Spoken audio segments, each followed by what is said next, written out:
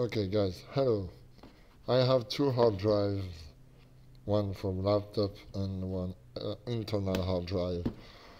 And I will show you how to destroy your data and make your hard drive unable to to spin up to to just lose your data uh, to avoid um, data um, uh, that uh, that somebody can access on your data.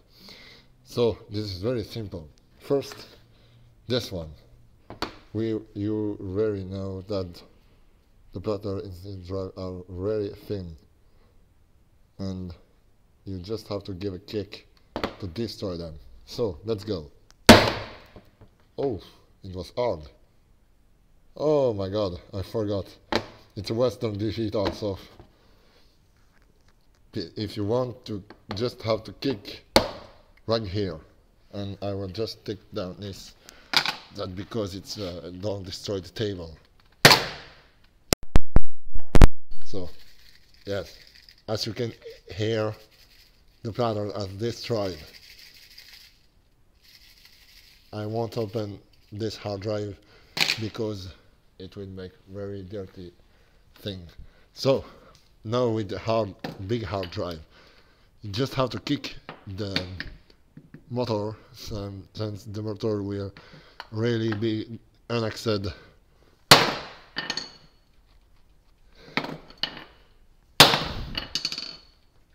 And if you if you the right place you will see that your hard drive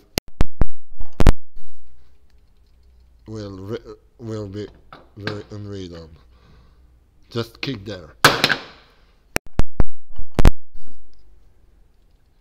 and you won't be you can't know if uh, I just put the hard drive on the if I just want to turn on the hard drive it won't it won't speed up because uh, speeding up because the, I just have clicked the the motor and the, platters will be damaged. If you want to damage the heads just give a kick here around here because the head are here. Oh, thanks. I hope that this video may help you and make your data destroying success. Join the community on informaticswiss.com